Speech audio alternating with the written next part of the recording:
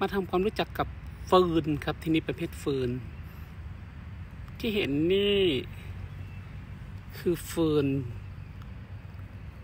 กนกนารีครับ ชอบที่ชื้น ร่ม นะครับปลูกง่ายครับลงดินพอมีที่ชื้น ร่ม สวยมากครับ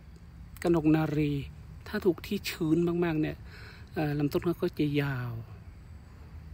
แล้วก็เลื้อยไปตามดินนะฮะเขาก็จะเลื้อยไป ขยายแพร่ไปครับตามความชื้นที่ความชื้นสูงมาก อยู่ที่ร่มแล้วก็ชื้น มันก็จะแตกกิ่งก้าน ยาวไป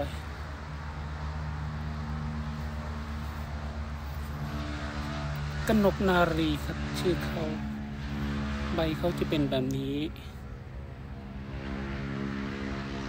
เป็นเฟิร์นประเภทหนึ่งที่สวยงามมากนี่ครับ มันจะเลยไปเรื่อยๆกนกนารีครับ เป็นเฟรนที่ชอบที่ร่ม ปลูกง่ายครับ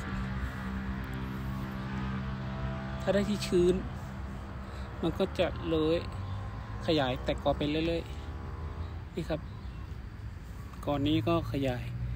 แตกมาไปเรื่อยๆครับ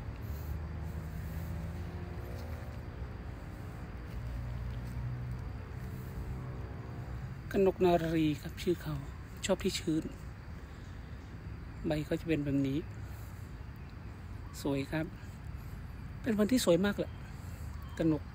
นารีชื่อเขา นี่ครับถ้าเขาได้ความชื้น เขาอยู่กับเป็นกลุ่ม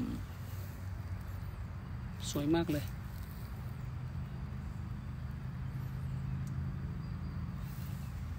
ก็จะเลยไปแต่ไปไป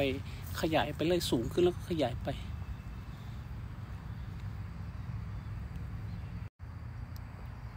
สูงประมาณคืบไปถึงครับประมาณคืบ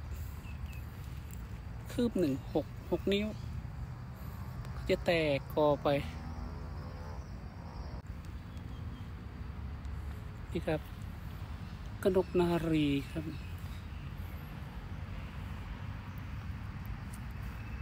ใบของเขา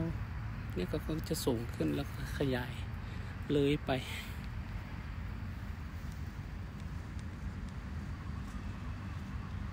ชื่อเพอครับชื่อสวย กนกนา